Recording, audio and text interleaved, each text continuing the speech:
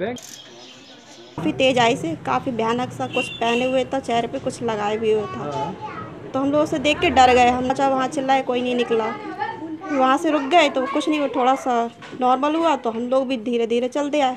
फिर देखा पीछे मुड़ के तो वो दौड़ लगाने लगा तो फिर हम लोग भी दौड़ लगाने लगे। कि भूत इधर दौड़ रहा है। इससे आदमी लोगों में दहशत है और तुम्हारे इसी देखी जाए पुष्टि की जाए क्या है? रात के समय कोई निकल पा रहा है जिस तरीके से तो रात में निकलते हैं डर के मारे निकलते हैं आदमी लोग। तो उसके लिए तो डर तो रह गई। तो ये चाहते हैं कि मतलब थोड़ी देर वहाँ पे सिक्योरिटी हो जाए पुलिस फोर्स वगैरह लगे इस चीज़ के लिए तो। से हो रहा है पिकअप भी बुलाई थी रात में। दो तीन दिन से हो रहा है। रात में पिकअप को बुलाया था। अगले दिन से फिर वो लोग कोई जानकारी लेने आए नहीं है। दो तीन दिन से ऐसा हो रहा है? हाँ दो दिन की बात है। तो मान लिया जाए कि रात होते ही शाम होते ही लोग दरवाजे बंद हो जाए घरों के। सर्दी का टाइम है तो यही होगा अब तो। डर के मारे डर भी तो लगता होगा। डर तो लगेगा ही सर। झांसी के ईसाई टोला में रात होते ही दहशत में दरवाजे हो रहे हैं बंद। यहाँ लोग इंसानों से नहीं बल्कि भूतों से डर रहे हैं।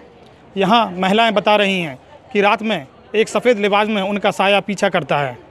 ईटीवी के लिए झांसी से रामेश यादव।